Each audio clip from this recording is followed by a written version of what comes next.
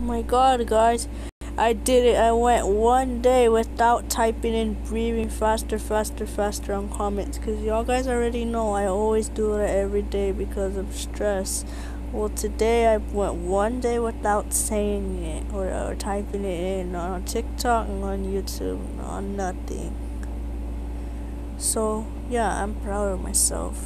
Yeet.